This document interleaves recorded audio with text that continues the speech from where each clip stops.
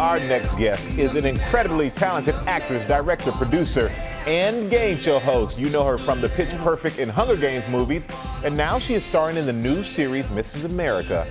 Elizabeth Banks, thank you for joining us from your home this morning. Good to see you, Elizabeth. We know you're at home with your husband, your two young sons. So how are you guys doing in quarantine? What's going on?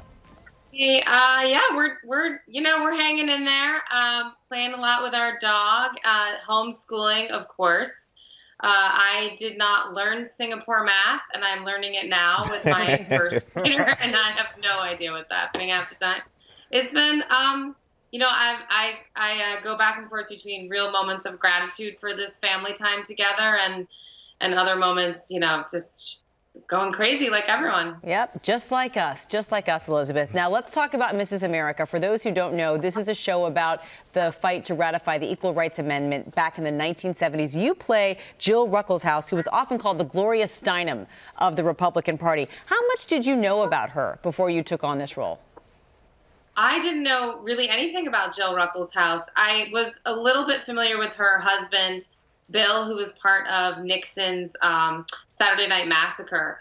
But other than that, I, I knew nothing about her, and I was it was really fascinating to learn about the movement through her eyes and through how um, she approached it. She was a very prominent Republican. She and her husband both. They were in the inner circle in Washington D.C. in the in the early 70s, and she was very much a feminist um, who believed in women's equality and and fought for the Equal Rights Amendment alongside uh, a lot of Democratic women and the libbers, as they were called in the day. So much history and drama playing out in this series. Let's take a clip and we'll talk on the backside. Let's watch.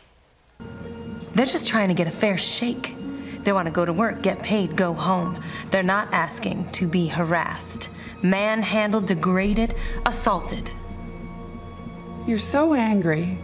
Well, with only one state you. ratified in over two years, even with White House support and the $5 million check from Congress, it must be terribly frustrating for you. You want to get ahead, climbing on the shoulders of men, Phyllis? Fine. Just know, they're looking right up your skirt. All right. I mean, the Elizabeth, the cast is just stacked here. So many talented actors. Was there anyone that you were especially in awe of working with? Well, you know, oh goodness. First of all, it's an amazing cast. But on my first day, my first scene was with Margot Martindale, who I absolutely adore. Um, I had been a huge fan of hers. I was so nervous to go to set and meet her, and I thought, oh, I better know all my lines. and then I got there, and she couldn't have been more delightful. We uh, we started singing, like making up show tunes on the first day and singing with each other, and I just knew we were going to be fast friends from there on out. And it was like that with every single person in the cast. We we just fell in love with each other. Um, it was great. I love that. And you know what else I love? Season two of Press Your Luck.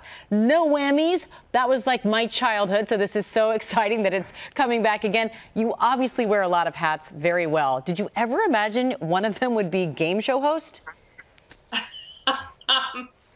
Do you know when you just asked me that question, I thought to myself, yes, I think I would have been a good game show host. um, I, you know, it is really fun to give away other people's money to really deserve people. Um, it's so fun. Press Your Luck, it, like you, Amy, I, I loved it growing up. I would come home after school and watch the No Whammies. I'm, it's really fun to be a part of. Season two is bonkers. We we give away a lot of money and um, a lot of prizes, and I just had the greatest time with um, with all of the contestants. Well, season one was a hit. Of course, season two is going to be a hit as well. And, and we know we always see you in front of the camera, but it marks five years your, your directorial debut of Pitch Perfect 2. And you cast Robin Roberts, our Robin Roberts, as a former Belle. And you also cast me in the last Charlie's Angels movie. So thank you for that. I'm, I'm curious, is there anyone that you wanted in one of your films and you couldn't get?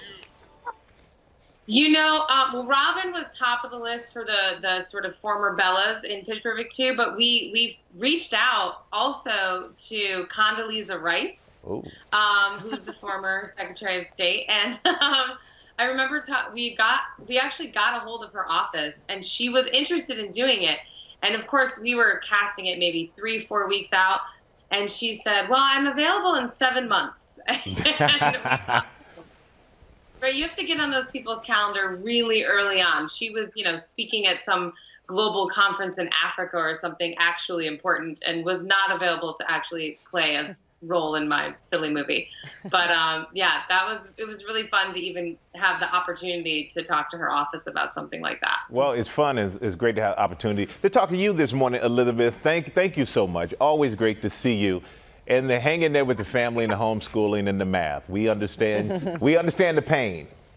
The finale. The finale of Mrs. America is available today, and you can catch up on the whole series on FX on Hulu.